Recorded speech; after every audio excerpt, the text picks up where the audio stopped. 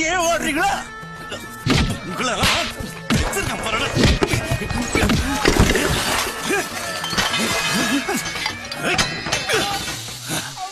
Doctor Mokkasamy?